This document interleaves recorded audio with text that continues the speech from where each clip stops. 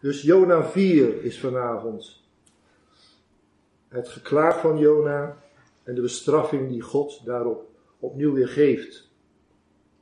De bevolking van Nineveh doet precies wat Jona zegt. Maar Jona 3 eindigt niet met in vers 11 te beschrijven en Jona keerde blij naar huis terug. Want er is helemaal geen vers 11 in hoofdstuk 3.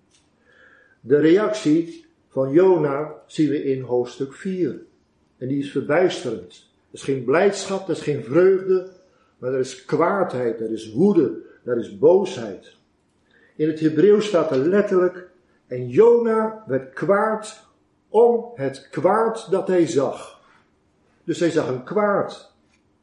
En God was goed geweest. God had die stad gespaard en Jona noemt dat een kwaad. Daar werd hij kwaad om, daar werd hij boos om. Jona is woedend toen hij zag dat God alsnog weigerde Nineveh niet met geweld te vernietigen. Jona dacht aan Gods recht. Hij dacht aan Gods oordeel. Hij dacht, God moet dat doen, want het kwaad was voor God opgeklommen tot in de hemel. En God moet toch recht doen op deze aarde. En wat hij gezegd heeft, moet hij toch ook doen. Zo dacht Jona. Maar hij dacht heel anders dan God. Jona 4 is een invuloefening. Met een open eind. Je kunt er alles bij bedenken. Het eindigt met een vraagteken. En je weet niet precies wat er is gebeurd. Wat is God ontzettend goed, dat kun je wel zeggen. En in vers 2 van Jona 4, daar slingert Jona hem naar het hoofd toe dat hij genadig en barmhartig is en groot van goede tierenheid is. Dat slingert Jona hem in het gezicht. Dat bent u. En dat behoort u helemaal niet te zijn. Dat is de omgekeerde wereld. Zo denkt Jona dus. Zo is Jona. Maar God is in Jona 4 vooral barmhartig en genadig voor Jona. Voor die ene persoon is hij genadig en barmhartig. Want de Heere neemt de tijd met hem. Die heeft geduld met hem. Die gaat naast hem zitten. Die spreekt met hem. En die laat hem zijn woede koelen. En hij gaat uitvoerig op deze ene mens gaat hij in. En zo is God. Die gaat uitvoerig met ons persoonlijk allemaal zo in. Hij heeft geduld met ons leven. Hij staat erbij. Henk jongen, Wim jongen, Arjan, Jannie, Gertjan, Wim. Hoe doe je het hier in deze situatie? Hoe ben je tegenover mij?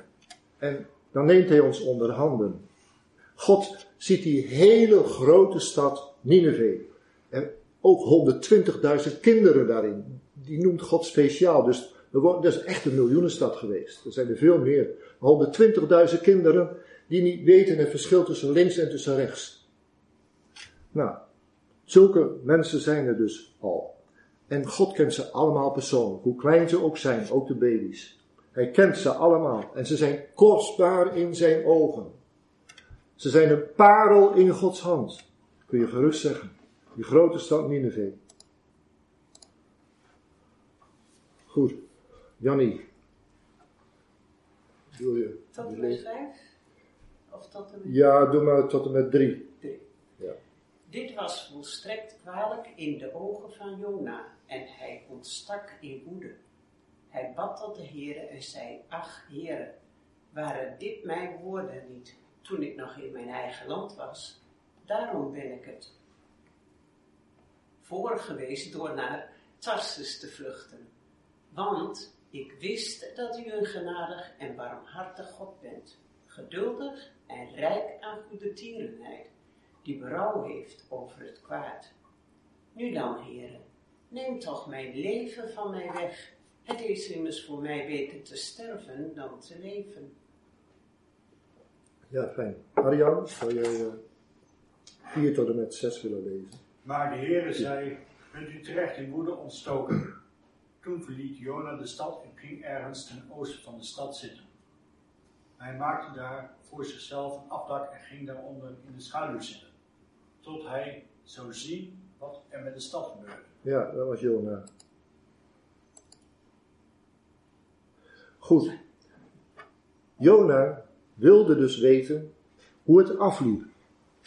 En Jona zag dat die stad rouwde en dat ze zich bekeerden en dat er groot geween was. En Jona die vreest al het allerergste.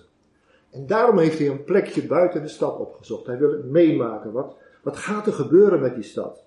In het oosten van Nineveh is het gebied heuvelachtig. En daar heeft hij een eerste rangs plekje heeft hij daar gevonden in het stadion zou je zeggen. Hij wil vooraan zitten, kijken wat er gaat gebeuren daar in dit gebied. En het is ergens tegen een helling aan, dus het schuin zo tegen de berg aan. En heeft voor zichzelf een hutje gebouwd, een loofhutje van takken en van bladeren. En zo wil Jona zichzelf beschermen. Beschermen tegen die verzengende zonnevloed die er is. Heel de dag door. Maar hij zit te wachten en te wachten en uit te kijken wat er gaat gebeuren. En dan nadert tenslotte de veertigste dag. En het is precies zoals elke dag. Precies zoals de 39ste dag. Precies zoals de eerste dag. Een verschroeiende zonnehitte, niet om uit te houden. En Jona ligt tenslotte als een hijgende hond. In zijn kennel ligt hij, in zijn tentje ligt hij in dat verdek, in dat hutje. Af en toe dan tilt hij zijn hoofd eventjes op om te kijken, om te horen of het gerommel van het oordeel al te horen is. En hij kijkt met zijn ogen of, er, of de muren al niet beginnen te waggelen en of de huizen al niet beginnen in te storten. Daar zit hij op te wachten dat God gaat oordelen, gaat optreden. Dat God met zijn gerechtigheid komt. Hij zit te luisteren of hij, of hij geen geschreeuw hoort van mensen, nu geen gejammer omdat ze berouw hebben, maar geschreeuw van angst omdat ze puin op hun hoofd krijgen. Mensen die jammeren, kinderen die huilen, de koeien en de schapen die geluid maken. Daar zit Jona op te wachten. Toen Jona het eerste gekerm en de eerste smeekbeden om genade hoorde, dit is even een stukje om over na te denken, in Nineveh, dat was in de loop van de eerste dag al. Hij was nog niet eens één dag ver en toen begon het gejammer al. Toen begonnen die mensen al tot zichzelf in te keren. Dat is Jona 3 dus. Toen heeft Jona meteen al gedacht, dit gaat fout. Dit gaat verkeerd. Dit gaat niet goed. Dit gaat niet zoals ik het hebben wil. Hier kan God met eerbied gesproken niet tegen. Hierdoor zal hij zich laten verbidden door die mensen. En de volgende dagen is het geroep van al die mensen alleen maar sterker en sterker geworden. En Jona kreeg gelijk. Jona heeft de boodschap van God maar voor de helft uitgevoerd. En ja, dan stopt hij er eigenlijk al mee. Jona doet het niet met de juiste gezindheid, kunnen we stellen. Maar welke gezindheid zou Jona dan nodig moeten hebben? Hij doet de opdracht wel. Maar hij doet het niet met de juiste gezindheid. Wat we vorige keer ook al gezegd hebben, dat de profeet met de slechtste motivatie de grootste zegen heeft gekregen. Ja, dat, dat zegt natuurlijk niet dat dat een goed middel was. God kon er een kromme stok, een rechte slag geven, zei je toen ook al. Maar ja, hij had het eigenlijk met de gezindheid van een Jeremia moeten doen. Ja. En die had 0,0 vrucht. Ja. En Jona had een miljoen mensen. Ja. Die voor God waren. Ja. En hij was daar boos. Hij was boos om de boosheid die hij zag. Verschrikkelijk. Ja. Hij wilde straf zien. En dat is jammer, want als ik een profetes was en ik ging naar zo'n stad dan zou ik juist die ommekeer heel graag willen zien. Dat ze God weer gingen zoeken en dienen. En daar zou ik heel blij mee zijn. Ja. Dat verschil. Ja, dat is het verschil. Maar Jona, die is natuurlijk al een keer afgewezen, omdat hij ook uh, de, de, ondergang van Jeruzalem uh, uh, had. In een profetie. En ja, toen werd hij uitgescholden. Van ja, valse profeet, want het gebeurt helemaal niet wat je zegt. Ja. Ja, daarom, en daar is Jona opnieuw bang voor. En dat gebeurt ja. eigenlijk nu ook. Hij zou weer een valse profeet genoemd worden. Ja. ja, maar hij ziet te veel naar zichzelf. Ja. Ja. Maar die mensen denken daar helemaal niet aan. Die, die denken niet aan eh, van Nineveh van, het is niet uitgekomen wat die profeet heeft gezegd. En ze, ze, en ze gaan niet naar hem toe om te zeggen, ah je hebt ons maar praatjes verkondigd. Nee. Nee, echt niet. Ze waren echt overtuigd, echt bekeerd tot de Heer. Maar- deed het niet. Ze- Hij deed het niet, ja. Maar Jona was toch ergens ook wel een goede profeet. Want hij kwam wel voor zijn volk op. Ook in dit opzicht. Dit had hij gerust tegen de mensen in Jeruzalem durven te zeggen. Dat God komt met oordelen. En dan had hij gehoopt dat Jeruzalem zich zou bekeren. Ik denk het wel.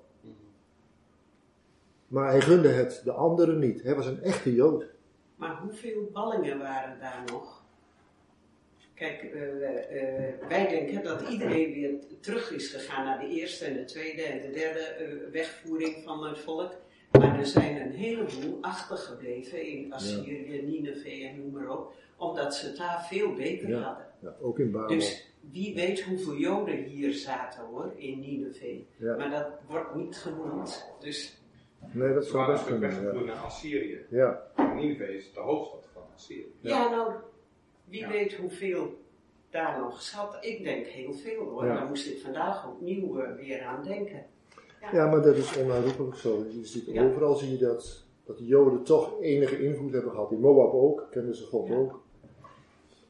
En als je leest van de Filistijnen, die Achimelech, op Abimelech, die koning, die, die kende God ook. Ja, klopt. Die praten heel normaal over. Ja.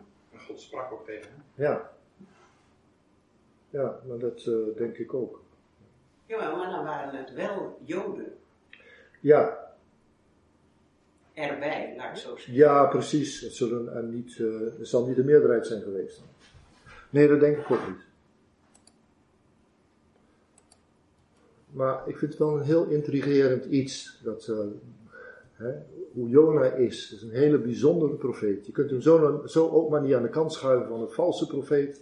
Dat was hij niet. Maar hij was wel een. eh, hij deed zijn opdracht uiteindelijk niet. Want het hele Joodse volk was eigenlijk uitverkoren om een licht der heidenen te zijn. En dat hebben ze verzaakt. Paulus heeft hen dat ook verweten in de Romeinenbrief. Jullie hadden dat moeten zijn, maar jullie zijn dat nooit geweest. Het Joodse volk is uiteindelijk wel uitgegaan, maar een heel klein deeltje. Alleen de apostelen, de discipelen. Een heel klein groepje. In Exodus 33, daar pleit Mozes op de berg Sinaï voor Israël, want het volk had het vreselijk verzondigd. Dat was de zonde van het gouden kalf. En de Heere zegt dan, Mozes, ga aan de kant. Ik kom nu met het oordeel, want ik zal het volk verdelgen. Ik heb lang genoeg geduld gehad, maar elke keer is het weer goed mis. Nu is het afgelopen. Ik kom nu met het eindoordeel. Nou, en God heeft dat eigenlijk ook tegen Nineveh gezegd. Het kwaad van Nineveh kwam voor God, Gods aangezicht. Ik ga die stad verdelgen. Jona, ga er naartoe. Zeg hun het oordeel aan. En Jona is boos als God het niet doet.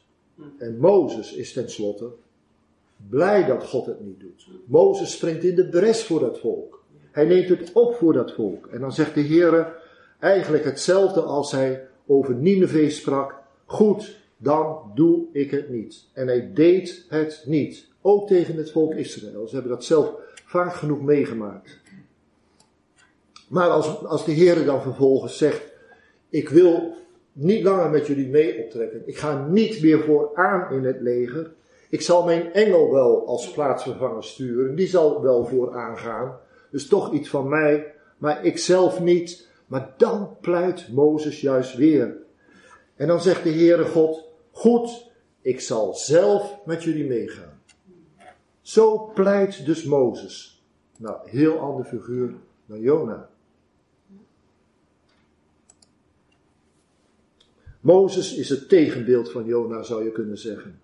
En daarom mag Mozes ook vragen aan de Heere God, toon mij nu uw heerlijkheid.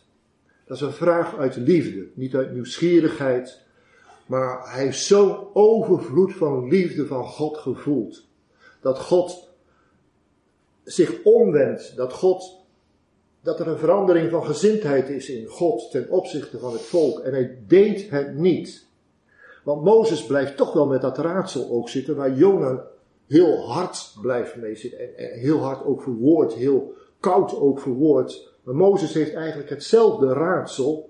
Hoe moet dat nu met de heiligheid en de gerechtigheid van God? Botst dat niet? Mozes heeft zoveel over God gehoord. God heeft met hem gesproken als met een vriend, eigenlijk hetzelfde als Abraham. En hij wilde zo graag de Heer zien in zijn glorie, in zijn heerlijkheid. Dat is een menselijke vraag en de Heer beantwoordt die gelukkig ook. En de Heer belooft dan aan Mozes, ik zal al, met al mijn goedheid zal ik komen en u voorbij laten. Ik zal, ik zal mijzelf aan u voorbij laten gaan. En dan zal ik de naam des Heeren uitroepen. En de Heer heeft zelf Mozes in een rotspleet gezet. En dan legt de Heer eigenlijk de hand op die rotspleet.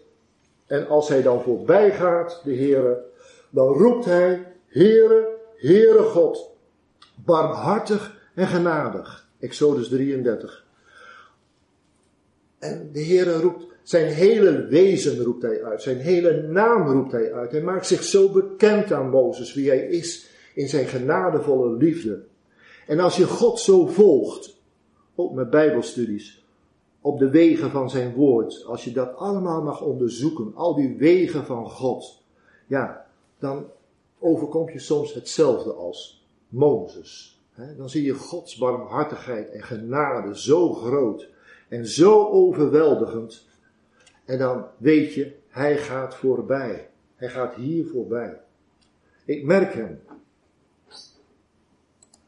Zo mag je op God letten. Dat hij voorbij gaat. Zijn heerlijkheid. Dan word je daar zo door overrompeld. Wie God is in zijn woord. Hij gaat voorbij. En dat zien we ook in de evangeliën met de Heer Jezus Christus. Vooral in het opstandingsevangelie in Marcus 15 vers 47 staat dat. En ze zagen waar hij gelegd was. Ze stonden er heel eerbiedig bij. De vrouwen en de discipelen zagen waar hij neergelegd werd in, in die spelonk van Jozef van Arimathea. En toen de steen voor het graf werd gewenteld om de opening af te sluiten, dat zagen ze allemaal. Ze wilden eigenlijk niet zien wat ze zagen, want ze dachten het is voorbij.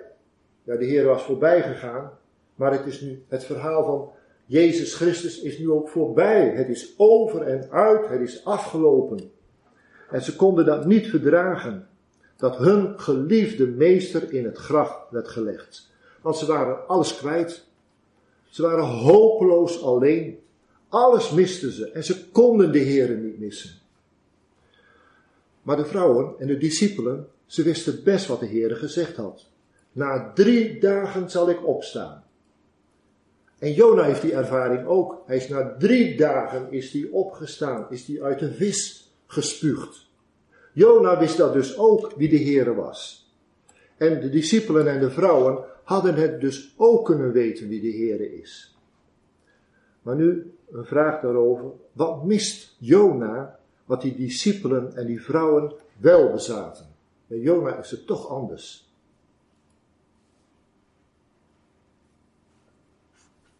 Wat mist Jona hier? Grandioos in dit hoofdstuk 4.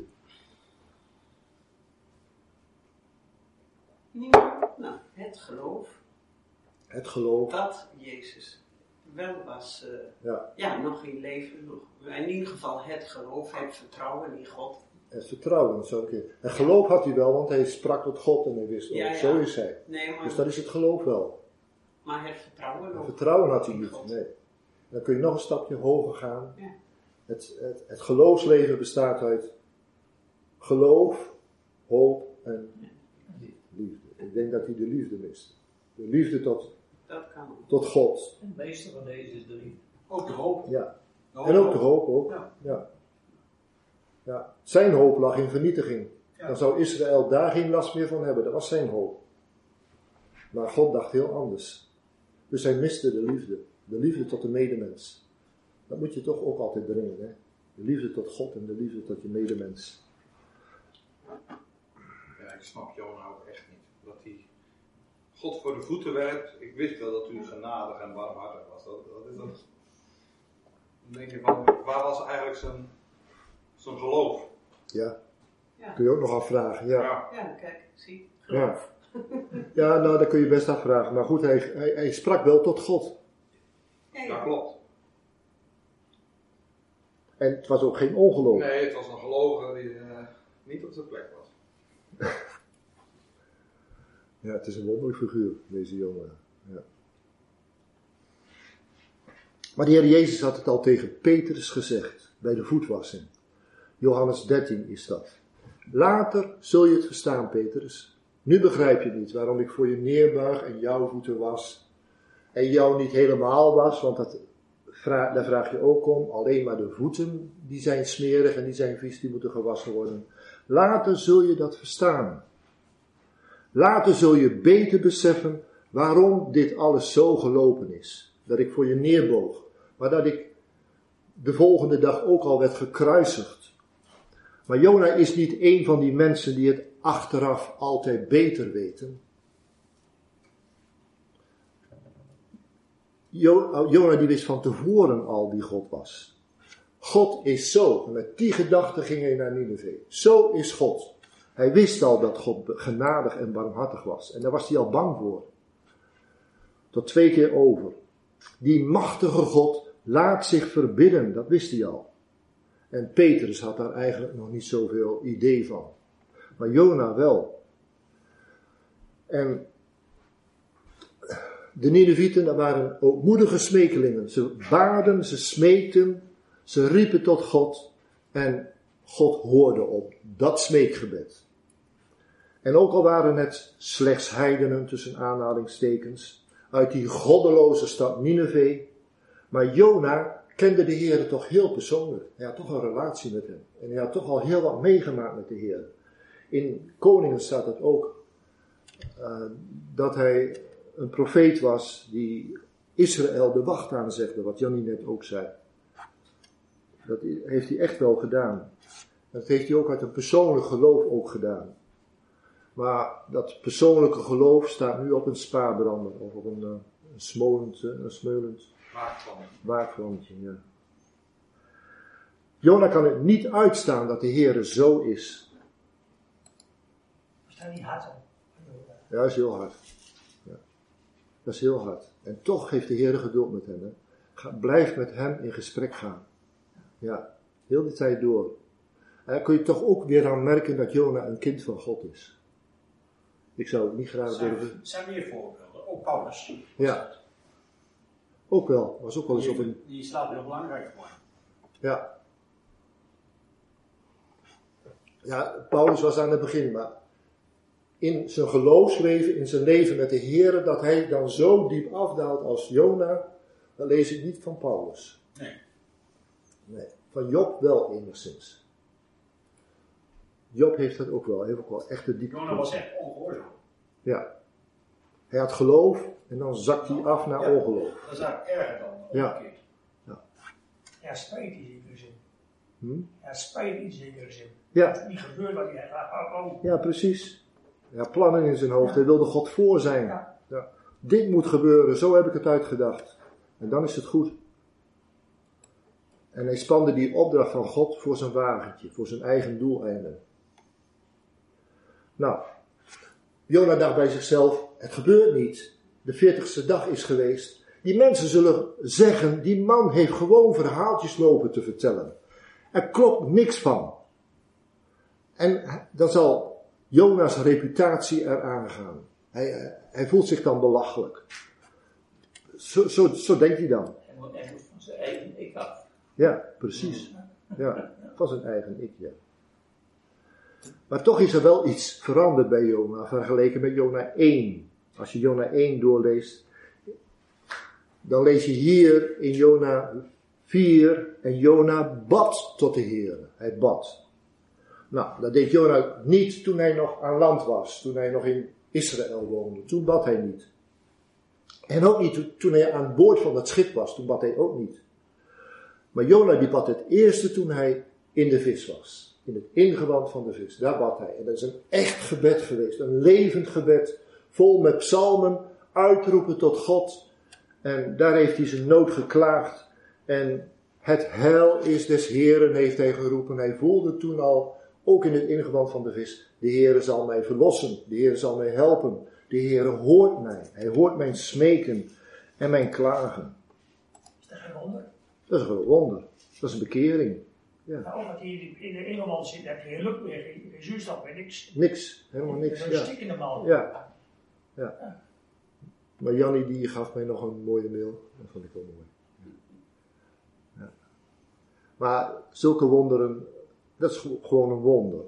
Maar als dan mensen zeggen, eh, dan zeggen mensen soms in, in een, weet ik wat, ik vind het een beetje dom, dat ze dan zeggen, nou als, als er zo staan in de Bijbel en Jona had die vis ingeslikt, dan had ik het ook geloofd. Nou, dat vind ik, nee, dan had ik het niet geloofd. Had ik het niet geloofd. Dat zeggen ze dan. Dan willen ze hun geloof eh, laten zien van, eh, nee, dat, dat, dat klopt gewoon niet. De Heer doet niet, niet zulke onnatuurlijke dingen. Nee, de Heer werkt ook door de schepping heen en door de natuur heen. En dit kan. Ja, De Heer doet wonderen, hij alleen. ja, Hij, eh, dat is soms anders. Maar ja, het is wel andere onbe- momenten worden goed. Precies. Hij is wel eens onbegrijpelijk voor ons. Maar hij, hij is dan ook een niveautje hoger dan ons. Hè? Ja. Ja. Zijn gedachten zijn hoog. Ja. Precies. En zijn wegen hoger dan onze wegen. Ja. Maar als je dan leest in vers 4, in Jona 4, dat hij bad, is dat eigenlijk wel bidden van Jona. Het lijkt veel meer op beschuldigingen tegen God. Zijn vuisten omhoog. Hij komt eigenlijk alleen maar op voor zijn eigen rechtvaardiging. Hij had rechtlijnige gedachten, zo moet het gaan en het komt niet uit. De Heer doet het heel anders en dan wordt hij boos. Ik heb u toch gezegd dat dit zo zou gaan gebeuren, werpt hij de Heer in het gezicht. Neem mijn leven dan maar weg. Dan voelt hij zich zo depressief en zo hopeloos. Dan ben ik liever dood, zegt hij, dan dat ik zo nog moet leven met zulke zware gedachten. Ik kan dat gewoon niet verdragen, zegt Jona. Dat u zo bent. Daar begrijp ik niets van. En hoeveel mensen lopen er tegenwoordig wel niet zo tegen God tekeer te hoop. Ik begrijp het niet. Ik wil het begrijpen. En als ik het niet kan begrijpen, dan, dan hoeft het van mij niet meer. Zo praten ze dan. Begrijp mijn ziel, het gaat zo vroeg. Stel u gerust, mijn God is stuk. Ja. Wacht op hem, zijn hoop zal blijven. Maar dat heeft Jona toen niet gezegd in Jona 4. Nee, dat was een heel andere taal. Al was dus Jona in de vis klein en gehoorzaam gemaakt, maar die moeite zit er toch nog. Dat draagt hij ook uit de vis. In de vis, ondanks dat gebed, was wel heel klein geworden, dat ongeloof en, die, en dat gemopper, maar het zat er toch nog. Goed, Jona als profeet kijkt vooruit. Hij denkt, als Nineveh valt, is dat gewoon een waarschuwend voorbeeld voor het welvarende Israël in die dagen. Dat was toen Jerobeam II aan de macht. Dat was een hele goede koning. Er was veel welvaart, veel geluk. De mensen leefden heel goed. Maar ze leefden met de afgoden. Of met, eh, in elk geval met de, met de gouden kalveren. Echte afgoden waren dat niet, maar het was toch geen goed beeld van God. En ja, een, wel, een, een waarschuwend voorbeeld voor Israël. En als Nineveh ten onder gaat, ja, dan kan het in elk geval Israël niet meer veroveren. Dan kan het Israël geen kwaad meer doen. Dus op die wijze dacht Jona. Jona heeft dus zijn land en zijn volk lief. Toch een goede profeet. Hè? Ja.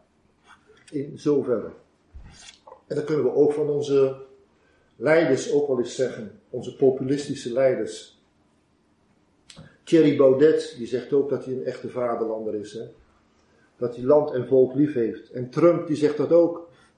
America first, een echte vaderlander. Een vaderlandsliefde. En Hitler zei dat ook.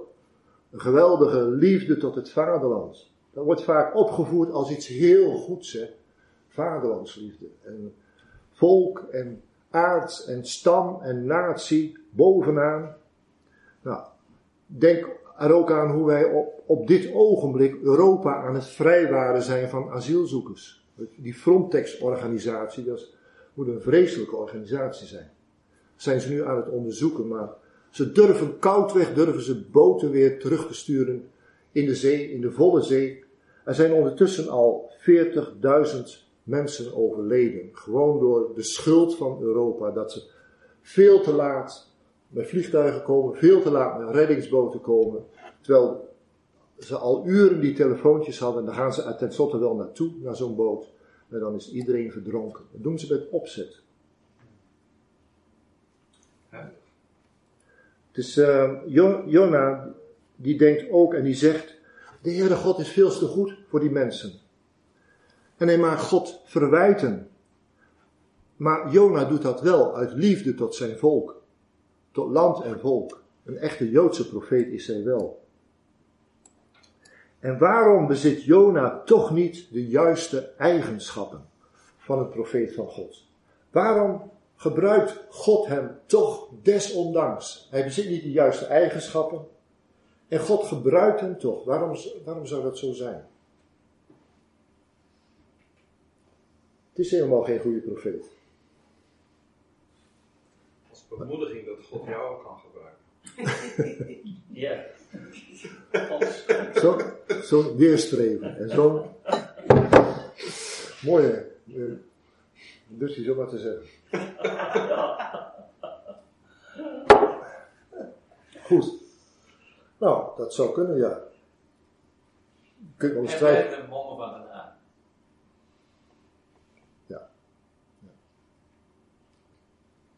Maar Jona is eigenlijk ook het volk Israël in het klein.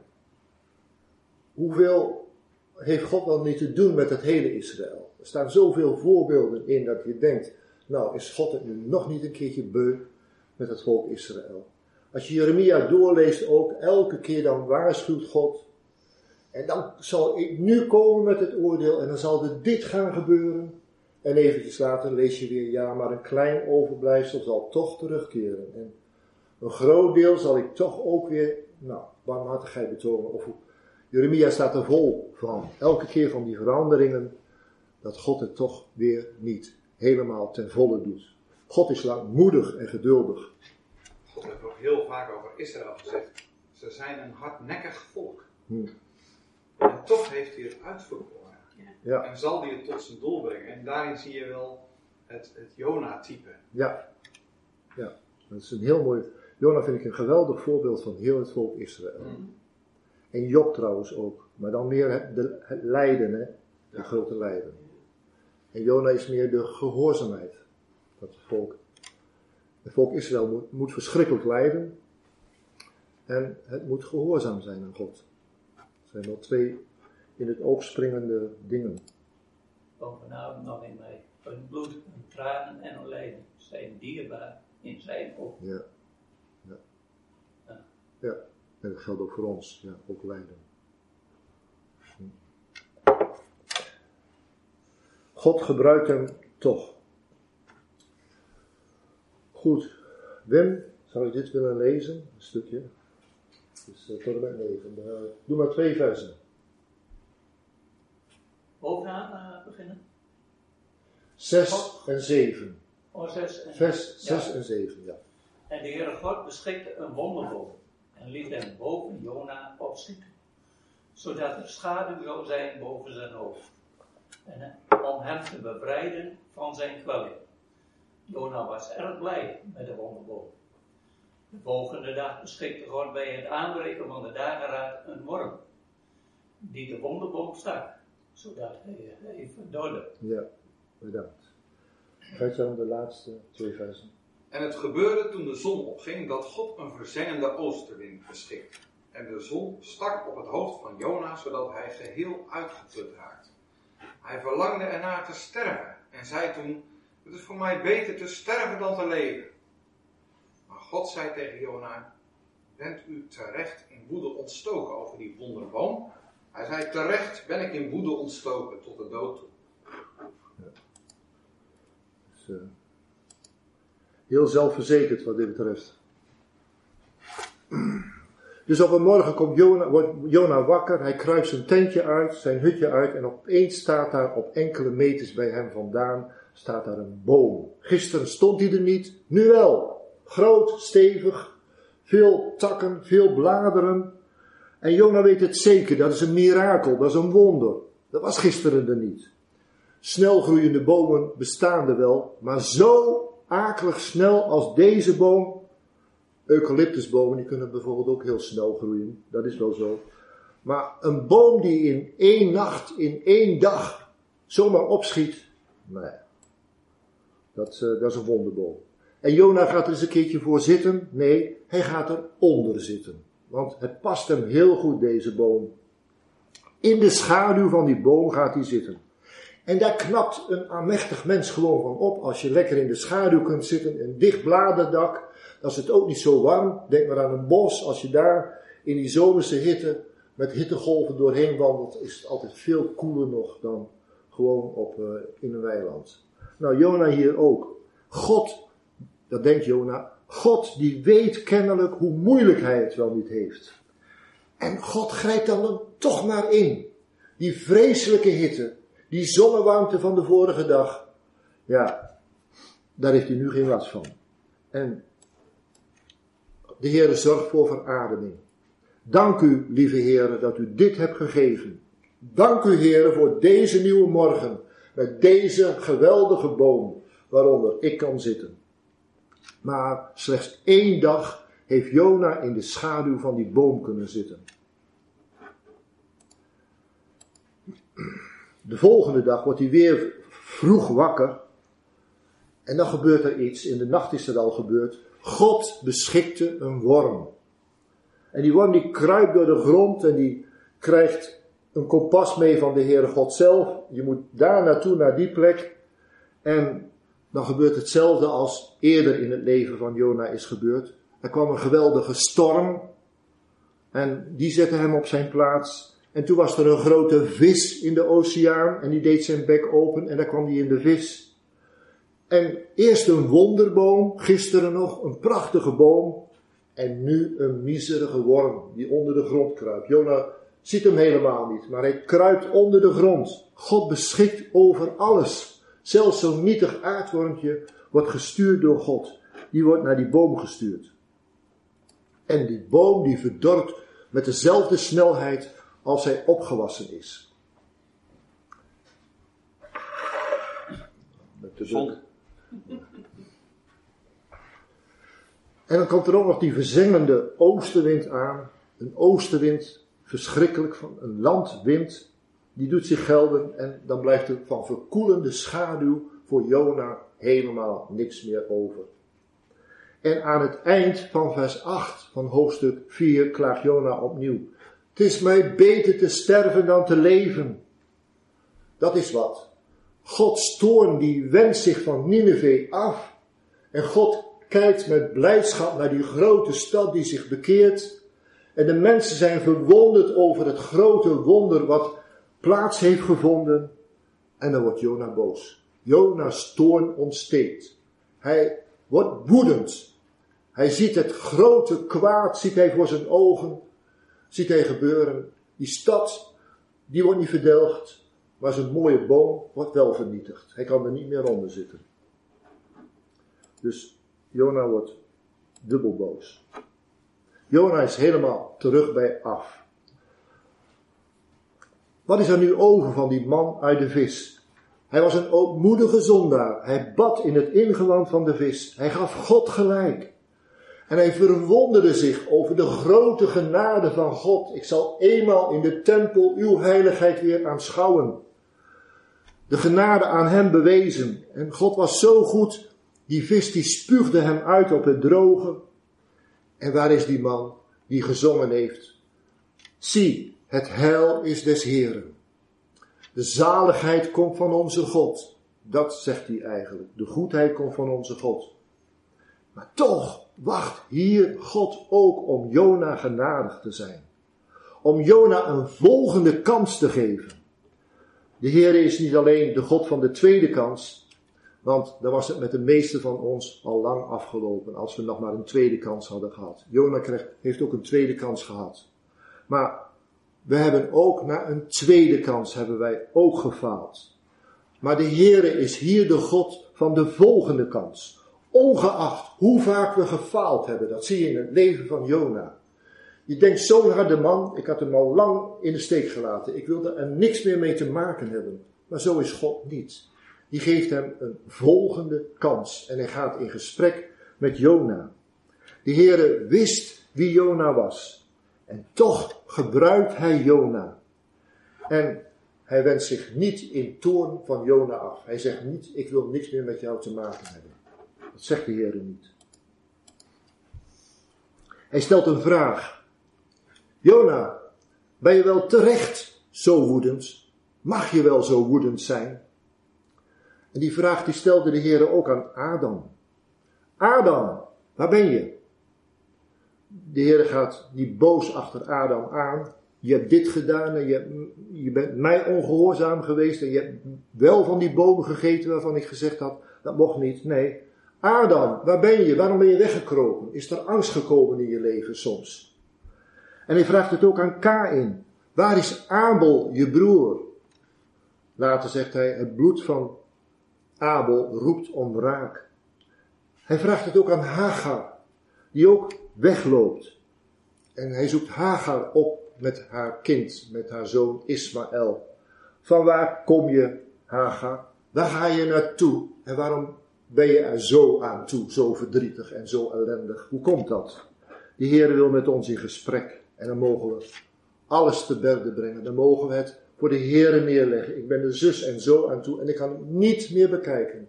Ik zie niet waarom dit alles mij overkomt en waarom in, ik in zulke ellendige omstandigheden ben. Het kan soms gebeuren in een leven. Ik weet van een zus op het ogenblik die van alles overkomt en ja, toch het oog gericht moet, wil hebben op God. En dan vraagt de Heer aan Jona, ja, heb je wel het recht om boos te zijn, Jona? Omdat ik genadig ben. Ik ben genadig voor Nineveh, daarom ben jij boos. Kijk eens naar jezelf. Waarom zit jij nog in je loofhutje? Want daar zat Jona toch nog wel in. En waarom lig je niet in het diepste van de zee, op de bodem van de zee? Dat had net zo goed gekund. Goed. Um, Wim had het net gelezen. Jij hebt gelezen, hè? Ik heb het ook gedaan. Je mag zelf. Maar Jannie, wil jij uh, lezen? Lees het laatste stukje. Daarop zeide de Heer: U ontziet die wonderboom waarvoor u niet gezwoegd hebt en die u niet hebt laten groeien, die in één nacht ontstond en in één nacht verging. Zou ik dan die grote stad Nineveh niet ontzien waarin meer dan 120.000 mensen zijn die het verschil tussen hun rechter en hun linkerhand niet weten. En daarbij veel vee. Ja, ook de dieren, hè, ze tellen mee. Mhm. Echt. Met de schepping. God is het om heel de schepping te doen. Mag ik nog iets vragen? Ja. Die wonderboom, ik kan me voorstellen uh, hij zit daar, Jona, of uh, ja, en die is heel blij. Hij denkt, uh, ja, God is weer tot mij genaderd. Ik zit in de schaduw, ik heb het heel fijn en goed bij God. En de volgende dag is die boom weg. Kijk, hij was natuurlijk wel echt dubbel, ja, teleurgesteld. Ja. He, maar goed, God heeft die boom als gelijkenis, hè, daar komen we zo op. Maar ik, ik kan me wel een klein beetje voorstellen. Ik heb soms ook dat God zo dichtbij je is, dat je zo blij bent. En een poosje later gebeurt er iets, nou, dan wil je wel onder tafel Ja. Zo, dan sta je zo bloot aan. Ja. ja. zo eenzaam en zo Ja, God wil je sterk maken. Ik weet het allemaal, maar het is niet altijd makkelijk. Nee, nee zeker niet. Jan Minderman die zei hier wel eens, God die trekt je kiezen zonder verdoving. Zie, daar heet al. Maar dat zijn echte kinderen van God, hè? die hebben dat meegemaakt, ja, die ja, man. Ja. Het is wel zo, wat je zegt. Het is echt wel zo. Ja. Maar goed, dan moet je ook, dan gaat God ook voorbij. Dus dan moet je ook meegaan. En dan moet je ook achteraan gaan. Achteraan blijven lopen. En dan zie je, kun je vaak achteraf verstaan. Je zult het nadien, na deze zul je het verstaan. Dat geldt voor elk Mhm. Klein ding, zeggen wij dan, maar het is voor, voor, voor jezelf persoonlijk is het heel groot en heel belangrijk. Geldt dat? Het kan niet zijn dat ik, zo afstandig ben. Nee. Nee, nee, nee, gelukkig, nee, kan ik ook niet zeggen. Nee, nee gelukkig niet. Nee. Nee, en daarmee wil je ook niet boven Jona verheffen of zo. Nee, nee, nee. Nee, maar dat God zulke kromme stokken ge- gebruikt. Hè? Dat je niet hoeft te wanhopen als. Ja, Maar ja, Jona is waarschijnlijk door anderen 200, 300 jaar later op papier gezet. Dus dat is wel een beetje moeilijk. Het is niet van Jona zelf. Moet het gewoon de le- leren vertrouwen. ja, ja, dat wil de schrijver van deze ook zeggen. Ja. Het hoort ook bij spreuken en bij eh, psalmen, hè, bij Ja. de wijsheid. Jo- in de Joodse In de literatuur. Joodse, ja. ja. Dus we Ja. kunnen hier wijsheid uithalen. Het wordt eh, gelezen met eh, Grote Verzoendag. Ja. Ja. Ja, het boek Jona. Ja. Ja, het is merkwaardig hoeveel mensen er zijn en hoeveel christenen er zijn die eigenlijk heel redelijk tevreden zijn met God, zolang het redelijk met hen, met hun leven ook gaat. Zo, als alles zo zachtjes voortkabbelt, hè, dan gaat het goed met hen. Maar als er dan ineens dingen gebeuren, als het ineens begint te onweren in hun leven, te stormen, dingen waar ze totaal niet op gerekend hebben, moeite en zorgen en verdriet, dan slaan ze als een blad aan de boom aan de zon. En terwijl ze al die tijd wel geweten hebben dat er duizenden en duizenden christenen zijn in de wereld die vervolgd worden, die het moeilijk hebben, die een vreselijke weg doormaken. Denk aan die minderheden in Pakistan, de christenen, en in India, maar ook wel andere godsdiensten, moslims, die hebben het ook vreselijk te verduren in India op het ogenblik. Dat is ook gigantisch. Maar ook in China. Ook die godsdiensten ook wel. Nou, maar dat heeft hem blijkbaar nooit erg ter neergedrukt. Daar zijn ze nooit van, hebben ze nooit meer meegeleefd met zulke mensen. Dat die het vreselijk moeilijk kunnen hebben. En dat dat ook een weg is die de Heer met je gaat. En dat nemen ze gewoon aan als een gegeven. Totdat het hun zelf overkomt en dan weten ze geen raad. Dan staan ze met de handen in het haar en dan weten ze niet, is onze God ook zo? Dat is ook het probleem van de health en wealth gospel. Hè? Ja, De, de voorspoed evangelie. Als je maar in God gelooft, zal het je goed gaan. Ja. Of als je maar in God gelooft, dan zul je gezond blijven. ja, precies. En dan gaat er een keer iets mis, dan valt ook hun geloof. Hè? Dat, Ja. Terwijl- ja, dat is het gevaarlijke. Ja. Dat zie je ook bij Jona toch ook. Maar dat- dit verslaat helaas een tienduizenden in onze Ja. tijd. hè. Ja. De mensen die, die helemaal vastzitten aan het, als je in God gelooft, gaat het je Ja. financieel goed en je gezondheid gaat goed. En daarom is die welvaart is ook een verschrikkelijke verzoeking. Ja. Echt, die rijkdom die de mensen tegenwoordig hebben. Ze, ze, ze wonen ook niet meer in een huis, maar ze hebben hun huis als bezit en ze verkopen het door. Bij ons jonge mensen om ons heen, prachtig huis. Ze verbouwen daar alles aan, kelders onder de grond voor de garage. En een paar maanden later wordt het weer verkocht. Alleen maar om, voor het geld. Ja. In het boek Deuteronomium wordt dat gezegd, tegen christenen wordt dat heel duidelijk gezegd.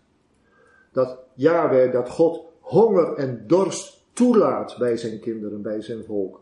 Opdat openbaar zal worden wat er in, het hart van een mens leeft. Daarom is er honger en dorst en naaktheid en droogte. Deuteronomium 28, vers 47 en 48. Omdat u de Heere uw God niet gediend hebt met blijdschap en met hartelijke vreugde, staat daar. Christenen missen ook vaak de vreugde en de blijdschap. En, dat alles. Vanwege de overvloed van alles. Ik heb je toch overvloed gegeven. Toch geen geringheid, toch geen armoede. Maar je leeft hier in overvloed. Ja. Alles was daar goed in het land Canaan. En omdat je geen blijdschap had en geen vreugde, dan zal de Heer vijanden op jullie afsturen. En die zul je moeten dienen met honger en met dorst en met naaktheid en met gebrek aan alles. Ik mis dat, zegt de Heer, die vreugde, die blijdschap. Dat is het eerste waar de Heer op afkomt. Soms denken we van onszelf dat we nog wel zachtmoedig zijn en dat we nog wel heel veel kunnen verdragen en dat we heel veel vertrouwen hebben op God. En dan ineens dan blijkt het als alles tegenzit, als die verzengende oostenwind tegen Jona aanblaast en als die hitte op je hoofd neerstort van de hemel, ja, dat je hetzelfde bent als Jona. Dat je ook boos bent en je vragen stelt aan de hemel. De levende God die neemt Jona apart. Hij gaat nog met Jona in gesprek, ook na deze tweede woedeuitval in hoofdstuk 4. En de Heer deed het ook met Job. Job 40 en 41. Dan neemt de Heer ook Job apart. Ja, maar Job zegt iets heel anders. Maar heeft de Heer misschien ook wel eens een keertje jou apart gezet? En apart met je gesproken en gezegd: Van die behandeling heb je nodig. Ja, ik heb zelf al verschillende malen in mijn leven uh, wel meegemaakt dat je zegt, nou, hier heeft de Heer mij duidelijk stilgezet. Ja, er zijn toch gewoon gebeurtenissen die je overkomen in het leven. Ja, ik, ik heb het meer dat ik het achteraf zie. Ja. Dat God bepaalde dingen in je leven heeft gebracht of geleid. En Ja. Op het moment zelf eh, zou ik niet zoiets kunnen bedenken. Nee, nu. Dat je, dat je stress hebt, hè? Ja. Dat ken ik wel. Vertel.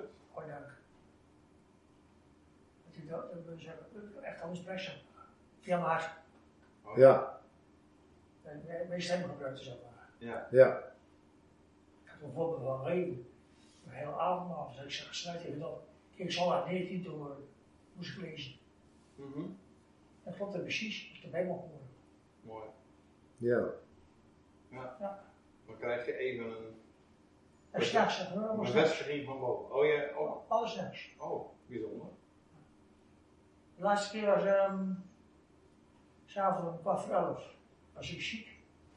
Was direct overspannen. Collega mee was overspannen, dat wist ik dus niet.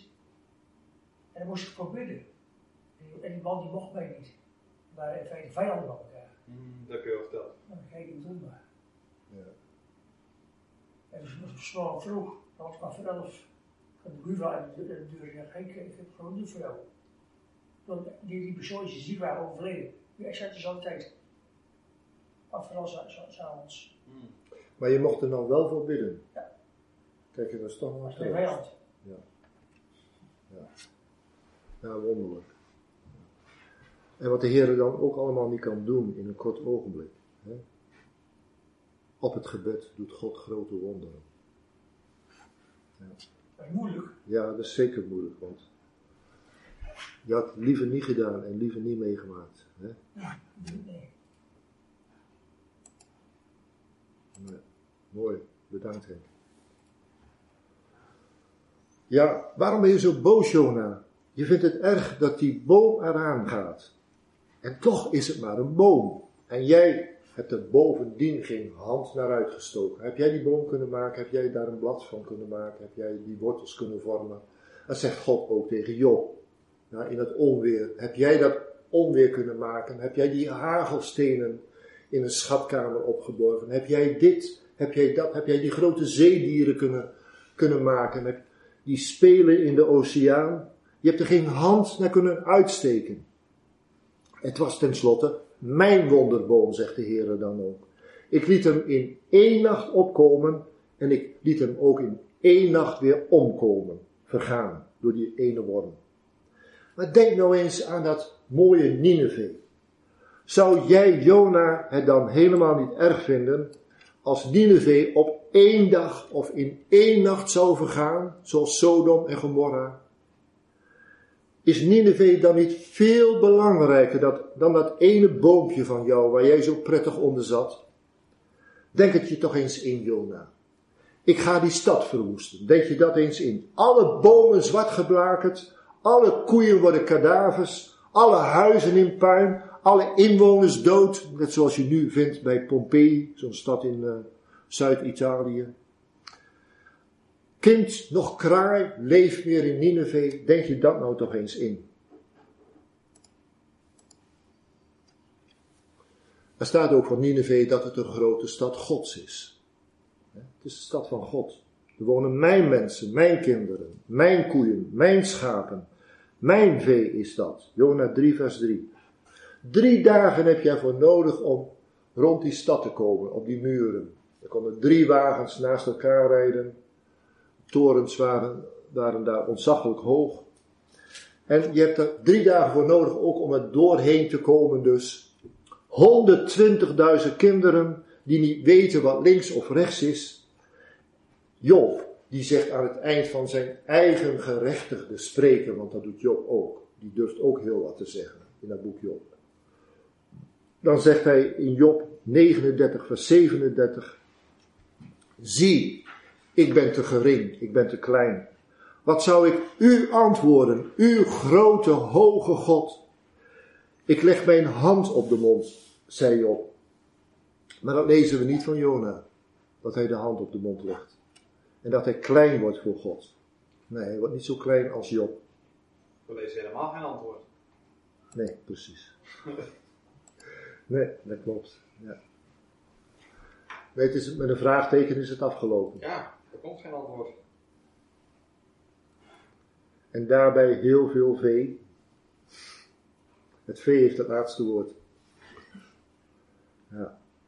Jona die lijkt nogal heel erg van de natuur te houden. Hè?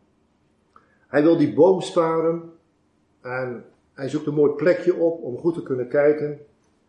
Hij verlangt beschutting voor zijn afgematte lichaam. Verkoeling verlangt hij. Maar de norm lijkt voor Jona slechts voor de vorm. Hij lijkt, het lijkt alsof hij zegt, eigenlijk zegt tegen de Heere God, weg toch met al die goddeloosheid. Nu heb je toch je kans in één keer omkeren die stad. In één klap. Want u bent toch heilig God. En u hebt het toch zelf gezegd dat u de zonde niet verdraagt. Zo redeneert Jona dus. Maar God zegt, begrijp je dan niet dat de redding van zielen en de redding van Nineveh mij heel hoog zit. Het zit mij heel hoog. De mensen hebben daar toch de afgelopen tijd laten zien dat ze berouw hebben van al het kwaad dat ze hebben gedaan. Ze hebben zich moe geschreeuwd naar mij toe, naar de hemel toe. En nu een vraag daarover. Zijn hier Gods heiligheid en Gods genade niet met elkaar in conflict? Heeft Jona geen gelijk? Gods heiligheid zou het moeten doen. En God zegt, nee, ik ben genadig, barmhartig, groot van goede tierenheid, langmoedig, taai van geduld. Maar is dat niet met elkaar in conflict?